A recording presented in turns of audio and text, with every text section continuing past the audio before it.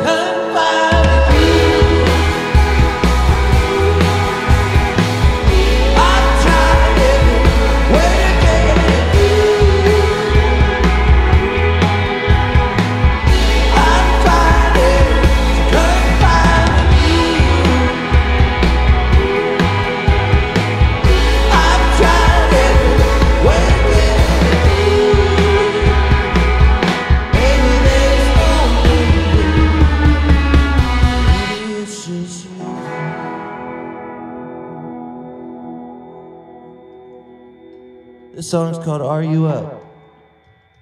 Wow. Yeah. Thanks. Yeah, you're welcome. There's only three. This song's called Are You Up, John? Yeah, it's song number two. Oh, Got it. Man. Yep, yep, yep, yep, yep, yep. Yeah. Thanks, everybody, for being here. You know you are. A camera is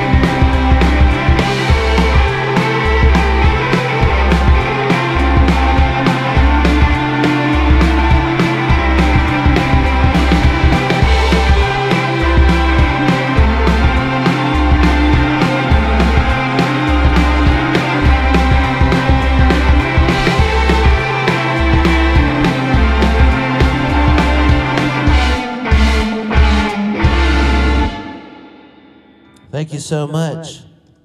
That was a new song from Okey Dokey. Wow. Here's another new song. There was an important phone call, but we'll forgive it. Hello? I hope it was my mom. I love you, mom. I love your mom too, buddy. Not oh, that, that sounded weird. I'm sorry. Everyone should love my mom. Give it up for Amy.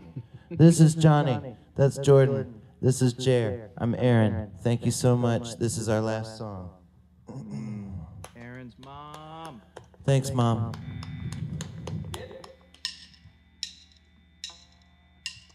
If you want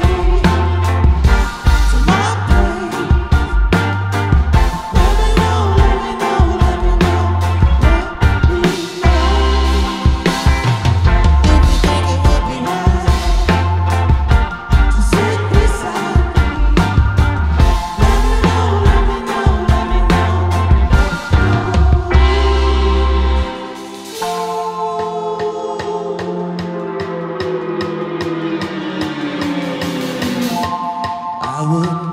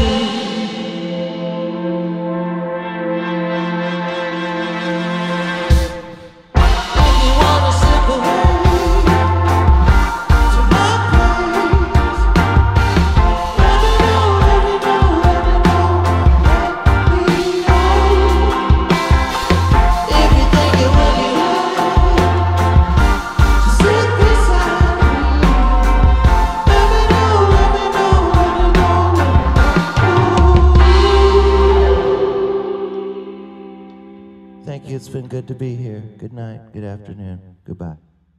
Welcome to the Sonic Cathedral, part of 911 WNXP here in Nashville.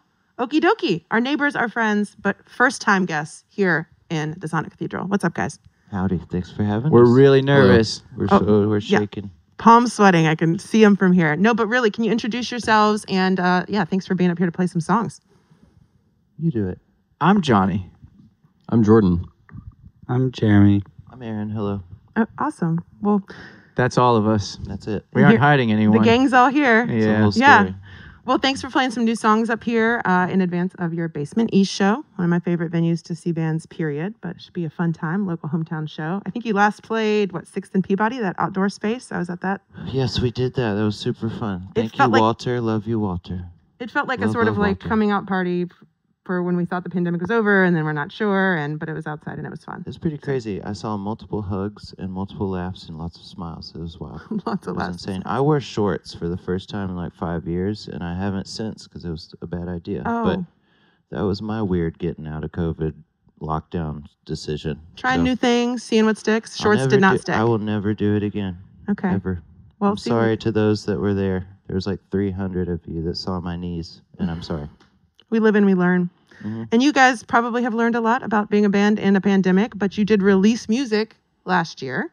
The newest record, I think, dropped in October, and it was our first record of the week when we started our station. So that's cool. We should be getting your trophies in the mail any any time now. Uh, but tell me about the arc of the, you know, the, the timeline, I guess, the writing, the recording, the finishing that, and how the pandemic altered maybe your plans for that newest release. Well, we started it probably a year before it came out, maybe a year and a half. And we we uh, wrote some songs at the time. Uh, I was still living with Sam from the Weeks, and we, me and Aaron and Sam, just goof off and wrote a few songs. And uh, then we, you know, we've done so many collaboration songs that we thought it'd be fun to do a whole album.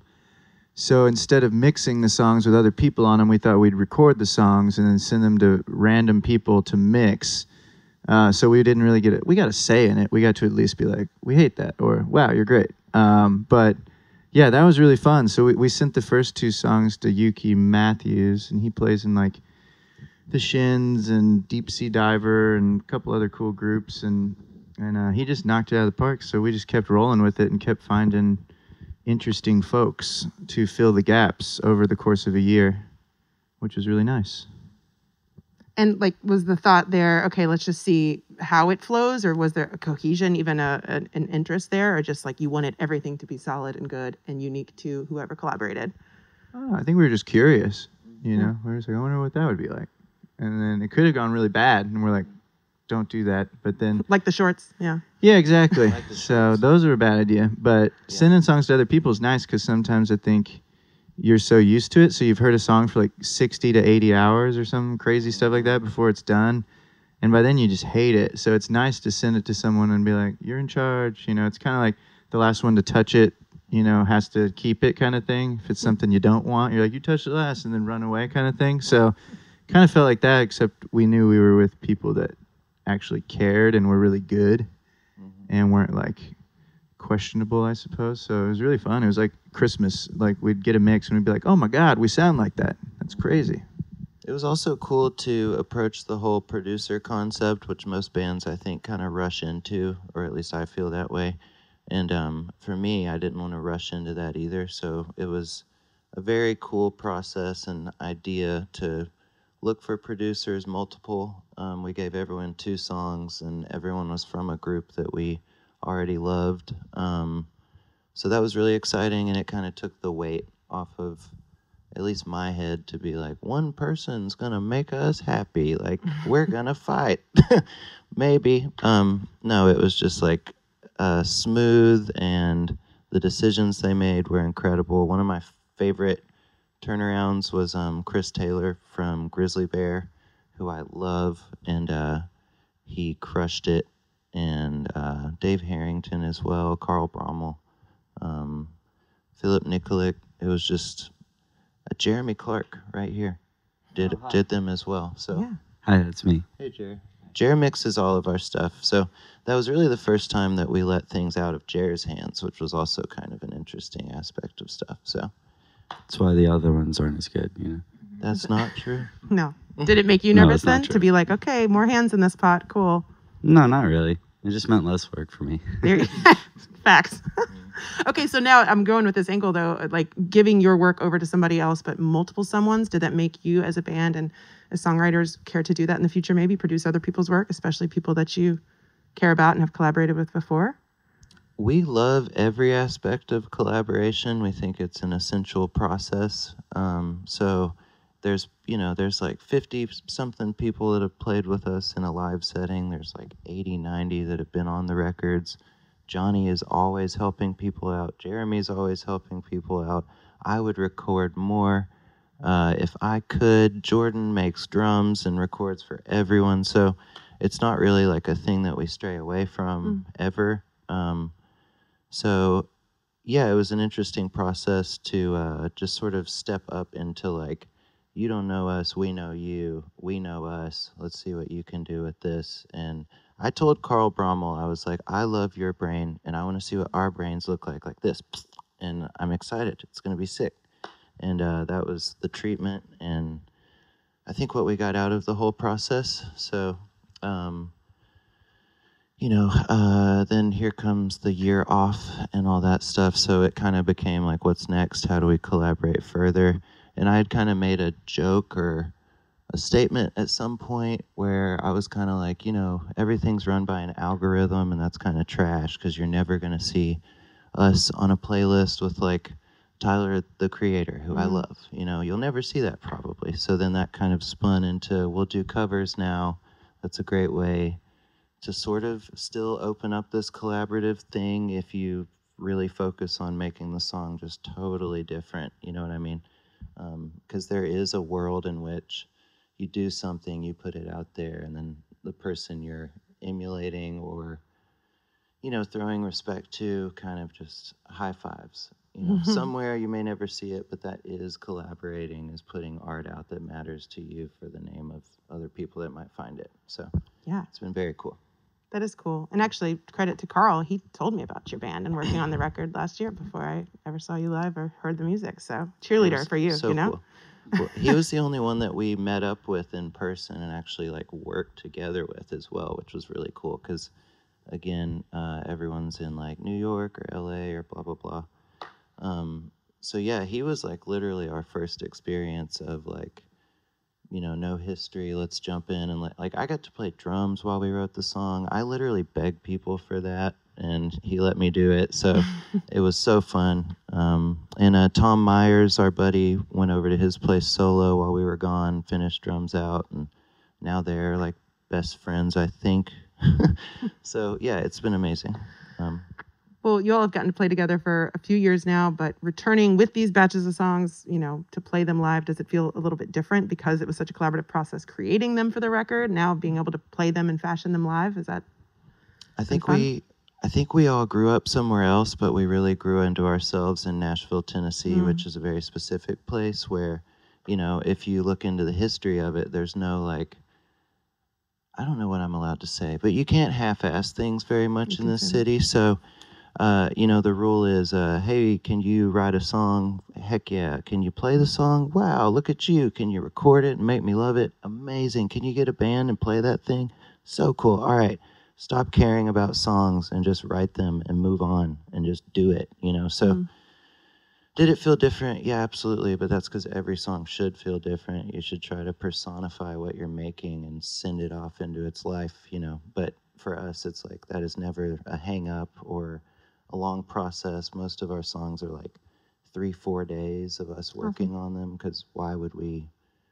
You know what I mean? It's like Mhm. you have to let it out, you have to keep doing it. So uh, it was not weird for us to write songs and do the final steps of writing the songs, which is bringing them to a stage and you know and then you go from there you're like why is this stage here i don't really care about it there's people there and you go that way so for us it's very natural and i'm very proud of that it's a collaborative thing in itself to be able to say that kind of stuff Yeah.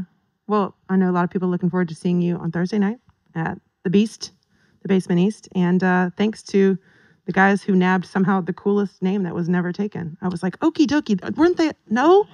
That's the band name? That goes to David Fisher, the fish man. Cred. We we also father. keep trying to connect with Oakley Dokley online, and They they, talk to ice us. us. They ISIS. They just don't time. care. We'll see what we can do as your Yeah. local That'd be great. NPR Well, music station, where you can hear Okey dokey and Tyler Creator. I almost, See, Tyler, let's I almost. Corrected not you. Oakley Dokley. Take that, Well, guys. there we we did play we did play Austin City Limits Festival a couple years ago, and the Okee Dokee Brothers were there, which is like a group that plays songs for children and stuff. But they were like they were like our people, like they were our vibe. You know, we accidentally got their check, and we were like, "Whoa, this is way better than ours." and we are like, "I wonder if they'll notice." and uh, and we like ran into them in the backstage area, and they're like Running literally with with their their kids and stuff, and they're just like, "Are you Okey Dokey?" And I was like. Are you the Okee Dokee brothers? They're like, when's this fight going down? and I was just like, woo, we're the same. Um, so much love to the Okee Dokee brothers. They're out there. Oakley Dokley, newfound West Side Story. come arm wrestle us. Hope it doesn't come to that. Well, thanks guys for being up here. We hope to have you again, neighbors and friends of WNXP. cool, thank you so much. Take care. Bye-bye.